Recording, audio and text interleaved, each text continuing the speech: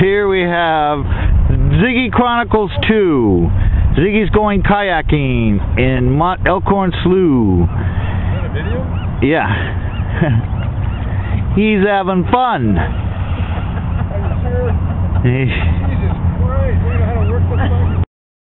have everybody going off kayaking in Elkhorn Slough.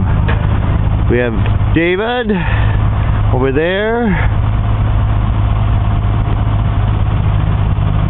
And we have Jane and Ziggy right there. Look at Ziggy dog. He's the kayak dog. He's ready to go. Here we are kayaking on Elkhorn Slough, deep within the slough. There's Ziggy in the back, Mr. Kayaker.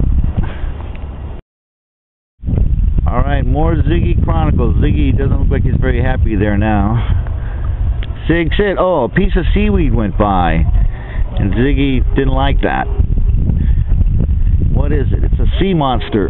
It's a big piece of sea monster. And there's Paul over there.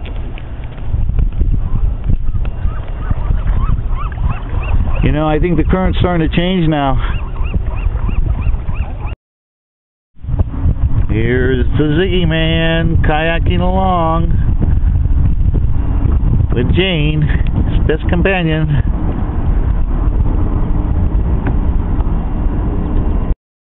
Here we go.